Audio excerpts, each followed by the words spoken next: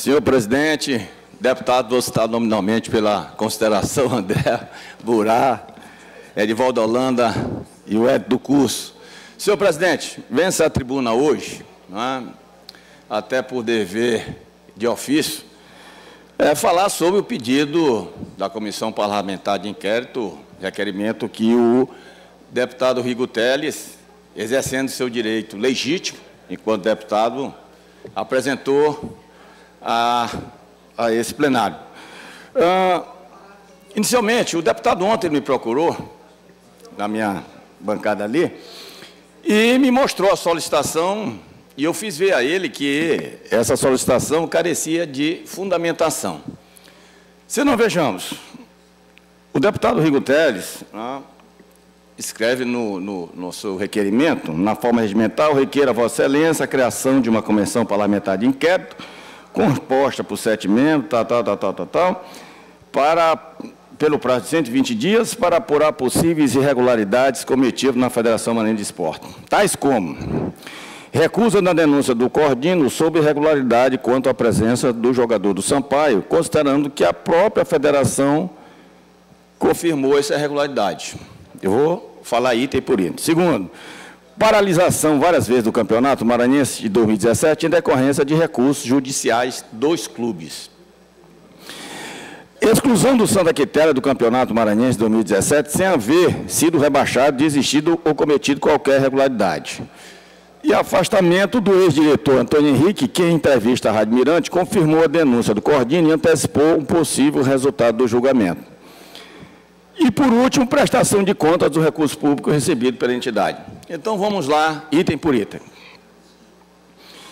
Primeiro, recusa da denúncia do Cordino sobre irregularidade quanto à presença do jogador do Sampaio, considerando que a própria federação considerou essa irregularidade. Vamos lá não houve é, é, recusa em relação a essa denúncia.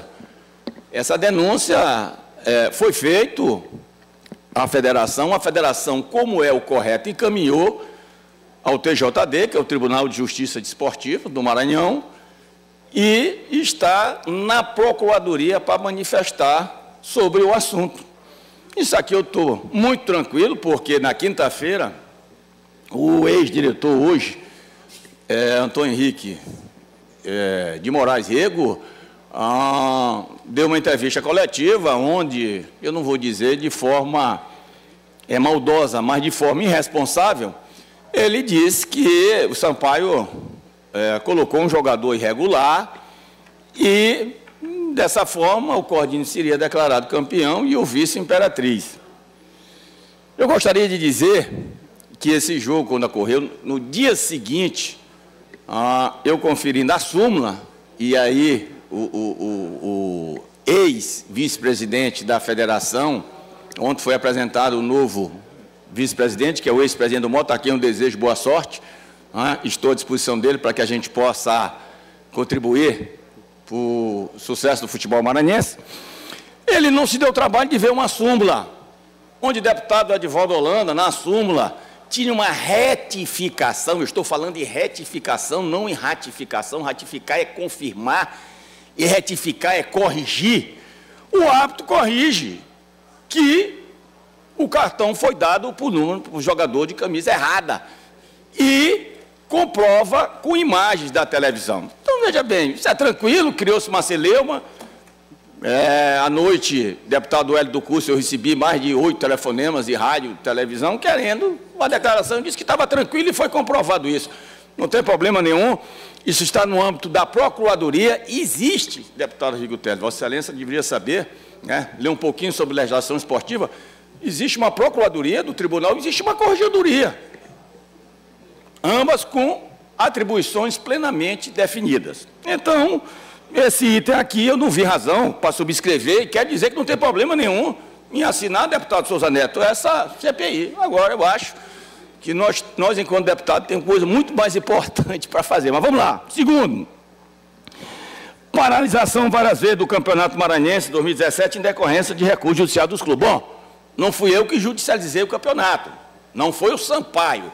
O Sampaio conquistou em campo o direito de estar na final do segundo turno, aliás, ganho, e está na final do campeonato, que vai ser realizado na quinta-feira, lá em Imperatriz. Então, aqui eu vou me ater a dois fatos. Primeiro, é, quem entrou no Tribunal de Justiça foi o Moto com todo, com todo o direito que cabe a ele. É um direito legítimo do clube questionar juridicamente.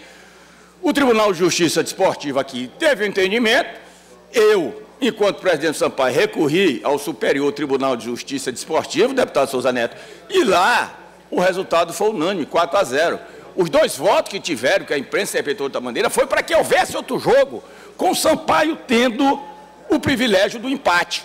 Ou seja, lá foi 4 a 0. Eu não tinha dúvida acerca desse entendimento, porque apesar de ser engenheiro eletrônico e analista de sistema, sei interpretar o que está escrito numa lei. Bom, então essa questão da paralisação não, não cabe, isso não é fundamentação para uma CPI. Terceiro, exclusão do Santa Quitéria do Campeonato Maranhense 2017 sem haver sido rebaixado. Deputado Rico Teles, a sua assessoria lhe informou completamente errado. O Santa Quitéria, que veio participar do Campeonato Maranhense e contribuiu sobremaneira durante muitos anos, porque o ex-prefeito Maninho Leal foi jogador de futebol e gosta do futebol, ele participou, deputado Rigo Teles, o, o, o, Santa Quitéria participou do Campeonato Maranhense, inclusive derrotou o Sampaio no primeiro turno lá por 2 a 1 um, e eu estava presente. Eu sou um presidente que vou. Estava falando ontem para o deputado Edvaldo Holanda que eu fui, como presidente Sampaio, já em 26 estados do Brasil, que tem 27 estados. Estive no Acre, estive no Tocantins, estive no Rio Grande do Sul, Rio, São Paulo, Santa Catarina, Ceará, Alagoas, estive agora em Anapiraca, e em 18 municípios do estado do Maranhão. Como coordino esse ano, e deputado Victório faça um reconhecimento aqui, o coordino, para mim, foi a grande sensação do Campeonato Maranhense. É obrigação do Sampaio, deputado do Souza Neto, do Moto, deputado Edivando, é, Edivaldo, do Maranhão, deputado André Murá, está numa final do campeonato. Cordino não. Cordino entrou, como mero participante e, para mim, foi o, a sensação e o melhor time do campeonato. Nem sempre o melhor, e você pegar no aspecto geral, vai ser o campeão, porque nós temos leis, regulamento. Cruza o campeão no primeiro turno, campeão no segundo. Aliás, eu já defendi que o campeão fosse por ponto ganho. E nessa condição, deputado Rigo Teles, o Cordinho seria campeão. Mas sabe por que mudaram? Porque em três anos o Sampaio foi campeão, deputado Souza Neto, botando ponto corrido. Mas se eu tenho uma forma, eu tenho um regulamento, né? Do campeonato que é discutido numa reunião de conselho arbitral com a presença de todos os presidentes do clube, eu não posso desconhecer isso. Coordino o campeão do primeiro turno, lá em Imperatriz, deputado Vitório. Senhor presidente, peço mais dois minutos para concluir. Deputado, e está decidindo. Vossa Excelência me concede uma parte? Concedo. E está decidindo o segundo turno lá. Em relação, em relação à mudança do local de jogo. Eu, que defendo há muito tempo a interiorização do futebol maranhense, reconhecendo passas importantes, como, por exemplo, Chapadinha, como a Barra do Corda, como Bacabal, que infelizmente não temos hoje o Correão funcionando, Balsas, Codó, Caxias, Pinheiro. Eu defendo a interiorização para que nós tenhamos, deputado Hélio do Curso, é, nós possamos dar ao jovem dessas cidades a oportunidade de serem jogador de futebol, reconhecendo que o futebol, além de um instrumento muito forte de inclusão social, é uma possibilidade de ascensão financeira.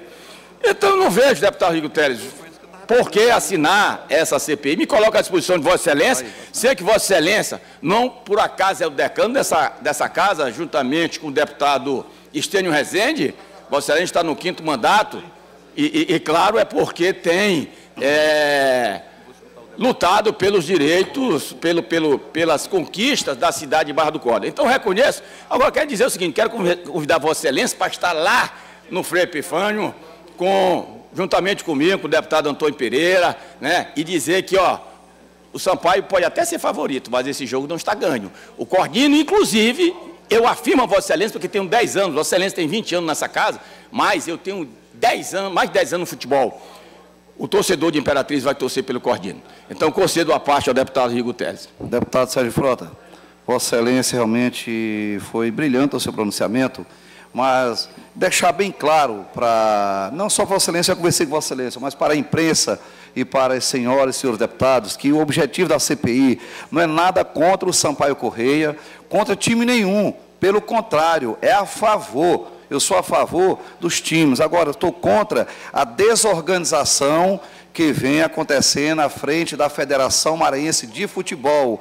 O Sampaio Correia já foi praticado. Saiu daqui para jogar em Barra do Corda, o jogo foi suspenso, porque recorreram para a instância superior. O Cordino foi praticado, saiu de Barra do Corda para vir jogar aqui e também foi suspenso o jogo. E ele tinha um jogo em seguida fora do estado do Maranhão pelo Campeonato Nacional Série D. E o que eu quero aqui, que peço o apoio de Vossa Excelência, que o, time, o jogo será decidido em Imperatriz, por dois grandes times. O, o Sampaio Corrêa, merecedor de vários títulos, como assim já teve, e pode até levar o título. Mas o Cordino também, pelo brilhante trabalho, pela pelo, pelo que vem fazendo à frente do, do, do, esporte, do futebol do Maranhão, e abrilhantando não só Barra do Corda, mas o interior do Maranhão. Então nós vamos saber, vai ser um jogo tranquilo, tenho certeza que as torcidas, não vai ter problema entre as torcidas, porque é, é o pessoal de Barra do Corda, juntamente com, acredito, que Vossa Excelência acabou de falar, que a maioria dos torcedores de Imperatriz vão torcer pelo Cordino, acredito, porque é o pessoal do interior do Maranhão, mas vai ser um jogo bonito, vai ser disputado no jogo, quem for melhor vencerá,